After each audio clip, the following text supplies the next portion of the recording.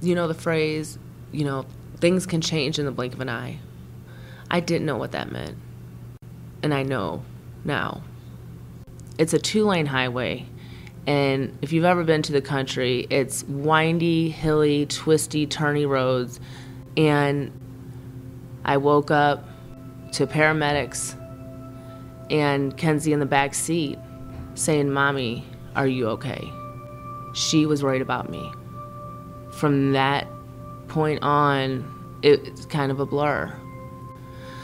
So, I guess, yeah, it was about four or five days after the accident, and uh, I was getting ready to be discharged in a day or so. And my mom sat me down,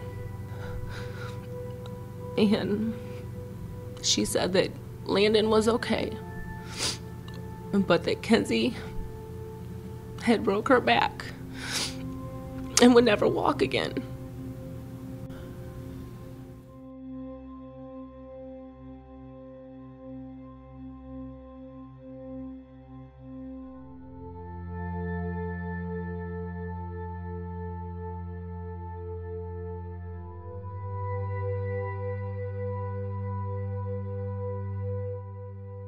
I was scared to death to bring her home.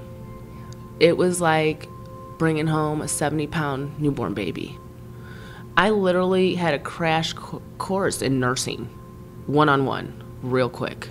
There were so many things that Makenzie needed. And while we were at Ranken, the social worker had mentioned a place named Variety and how they could help us. It's, you know, everything she went from running and playing like an average little girl to being paralyzed from chest down. She couldn't even sit up on her own. Things that we take for granted. She had to learn how to roll over on a bed, you know, how to then push herself up to sit up, how to adjust her feet so she didn't break her leg. And so, therapy, they only give you through insurance so many visits a year. And Variety, graciously enough, with the help of their donors, are able to pay for two times a month. And it's her, it, it's so important, it's her livelihood. It's teaching her how to become independent and be able to live a full, happy, healthy life on her own.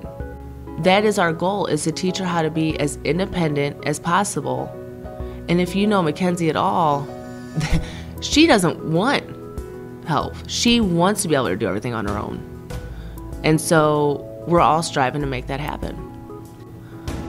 I want what every parent wants.